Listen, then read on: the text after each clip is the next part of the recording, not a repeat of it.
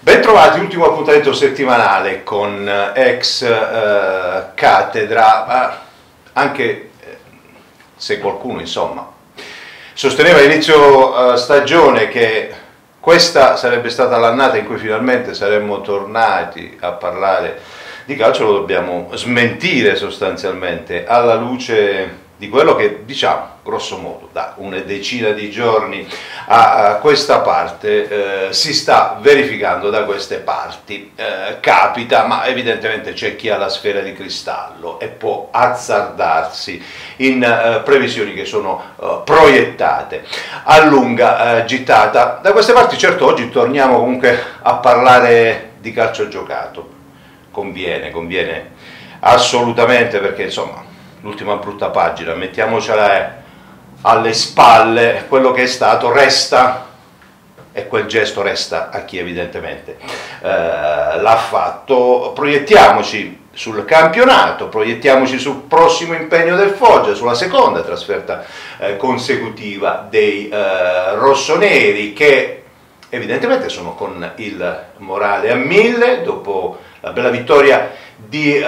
Catania che è arrivata subito dopo la penalizzazione del uh, meno 4 e che ha rappresentato una bella risposta del gruppo alle ultime contrastanti uh, uh, vicende. Il Foggia adesso è chiamato ancora ulteriormente ad allungare la sua striscia positiva che potrebbe salire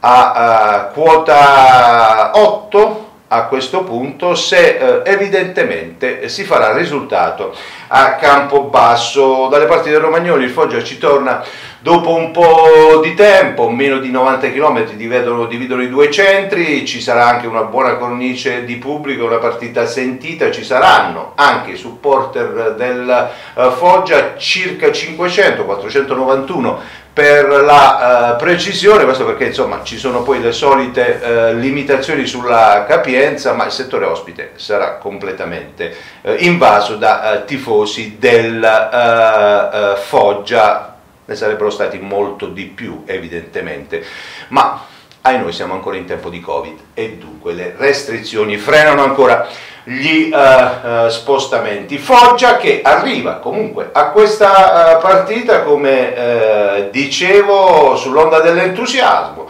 e con la possibilità insomma, di raccogliere un altro risultato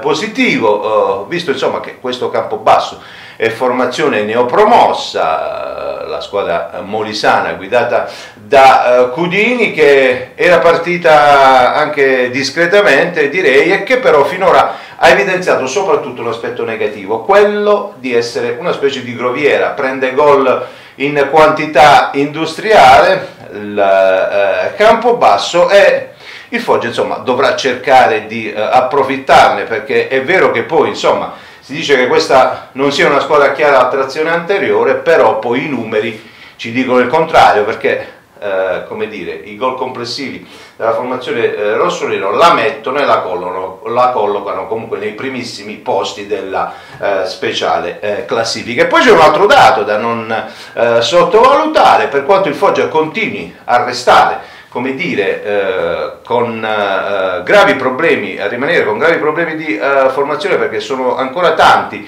quelli che sono fermi eh, ai box proprio da quando è emergenza. Questa squadra invece ha dato segnali di eh, concretezza anche a campo basso. Insomma, Zeman non eh, potrà schierare la migliore eh, formazione chi scenderà in campo, eh, però insomma cercherà di gettare il cuore oltre l'ostacolo perché in questo momento è particolarmente importante dare continuità soprattutto ai eh, eh, risultati. Prima di concludere eh, devo rivolgere un grazie doveroso, sentito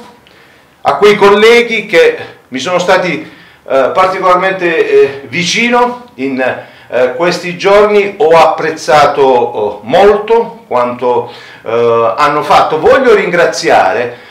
anche però coloro che, come dire, hanno mostrato vicinanza anche se soltanto un sms, un messaggio,